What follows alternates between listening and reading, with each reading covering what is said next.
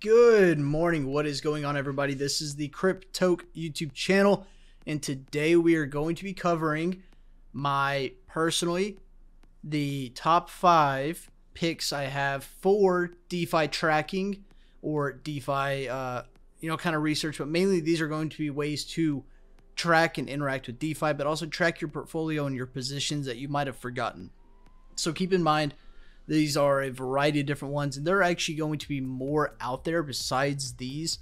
Uh, and also, side note, as always, guys, I am not a financial advisor. Nothing in this video is for financial advice. I, I don't want you making buying decisions, selling decisions based off this video. This is simply to educate you and show you what is out there.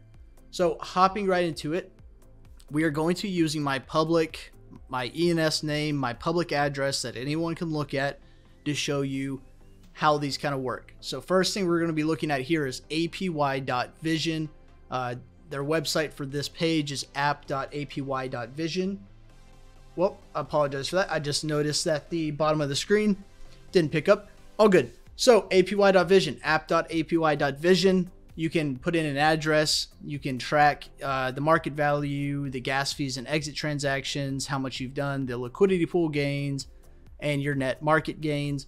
It'll list out your pools here your vaults the watch list so you can add a watch list along with uh, some offers from their partners. Now note apy vision has a pro version so if you wanted to do more here besides tracking one wallet the total apys your limited support then you'd have to pay. So they're doing one vision per hundred dollars tracked, which is uh, one vision's about four dollars forty. So that can add up extremely quickly. But you can also go to a different tier. So personally, I do like APY Vision, but I do not use their Pro. Now to jump into the other ones, this one I've been doing every single day, been checking on it, using it. This is ZapperFi or Zapper.fi. So I like them quite a bit. I, I've been personally using them quite often on the right side you have widgets. You can actually add in widgets. It'll tell you the network fees the gas trends zapper learn and pool trending. You can also go in here and change what chain you are on whether optimism harmony Fantom. I mean they've got support for a lot of these chains and it's partially why i like them so much. Now it doesn't read absolutely everything but you can see here you can go into the wallet you can see you know some of these assets i didn't know i had. It probably to be fair, I, I don't know how I got S Fuel or Wrapped Mass or CRDT. These things I, I really didn't know about. And then you can go through all these different farming, liquidity, debt positions, etc. You know, you can go and check in everything, what protocols. I love its organization. And you can go in here and you can actually turn on and off certain ones. You can go in here, you can actually look at your NFTs. For some reason, I guess my lobby lobster's worth the grand. I, I don't think it is, but you know, to each their own. But we'll, you know, it's got a variety here. And then you can go in here, you can actually exchange. You can do swaps here. You can actually provide liquidity through here. Uh, you can put in and start earning on assets in here. And personally, I'm doing this to get the quest.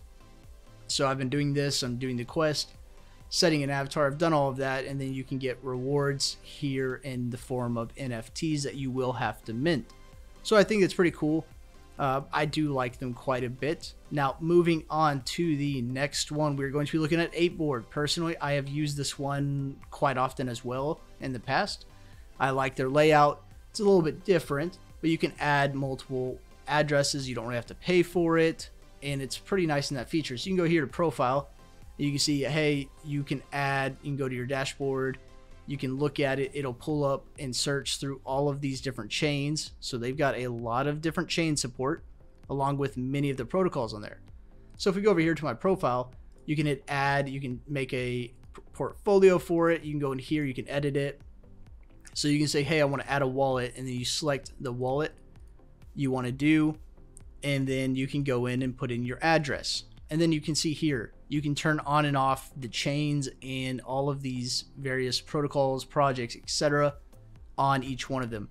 Personally, I like that quite. I, I actually really like it. I think it's very nice. And then you go over your, your dashboard and it'll go through and check your assets. It'll tell you, hey, you know, you're using too many unused ones. Well, you know, whatever. And you can notice there is a difference between each one of these that I've shown and what it says my net worth is for this, you know, the specific address. So you can go through and actually check it out, go, you know, do all that. And you can go to your NFT gallery and it tells you, hey, zero, zero, zero, zero.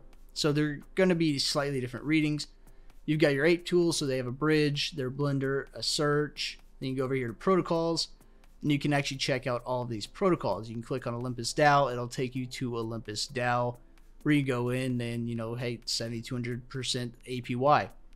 So that is a board. I do like them quite a bit. And then we are going to be looking at DeFi or DeBank, which I've shown in the past. I've made a video on DeBank in the past.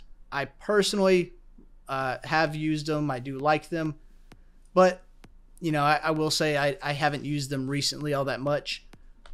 And you can go through and check them out, add in addresses, search up addresses, see what's going on with them. You know, hey, you're staking Matic, you've got a curve, you got a hop, you got Aave, Pancake Swap, Ellipsis, etc. You can go through and do all of these things on here. So personally, uh, they're good. NFTs, nothing is showing. Uh, approvals, you can go through. This is actually pretty nice. Uh, you can go through and check approvals and decline approvals, which you can do on Etherscan, but if you didn't know how, you could go through DeBank and also be able to do it. You can go to their homepage and you can see, hey, you can search up a protocol, an ENS, etc., etc., etc., and do things like that. So, DeBank, pretty cool. Um, I've used it. I like it. They've got DeFi list, rankings, token swap. It's it's got a lot of features. Just like most of these, they're all somewhat similar, but uh, some of them I like more than others. So, and the last, it's not really a DeFi tracker for your portfolio per se, but it is a general DeFi resource that I would recommend people to just take a look at because it's got an overview. You can check TVL, the change, curve dominance. You can check staking, uh, pool two, etc. You can go over to chains, see TVL across various chains and how that has changed over time. And then you can go through, you can say, hey, airdrops. This is going to give you a list of tokens or protocols, I should say, that don't have tokens that may do an airdrop. It's not guaranteed. There's no way to know if they're going to, but it's worth looking at. Just note it's risky technically to do these things. Now, Saddle Finance, you know, they they had, you know, they yes, that's already done. So it may not be 100% updated, but so you can go through, you can just check these out. Uh, I had to cut out a part there, but you can check out any of these, get a little, little bit of information on them. Overall, pretty cool. A lot of information and resources here if you're curious. This is a good resource if you're wanting to maybe find projects. I use it for finding information, finding projects, seeing how DeFi is changing. And so, with that being said, guys, please let me know your thoughts down below. Let me know if this has been helpful. Let me know if you already use some of these, and I will catch you guys later. I am hoping you had a good week. Hopefully, everyone had a good Thanksgiving if you celebrated it. And I will catch you guys later.